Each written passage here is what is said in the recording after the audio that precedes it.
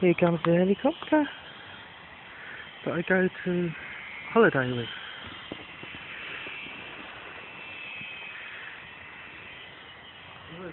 It's a roof.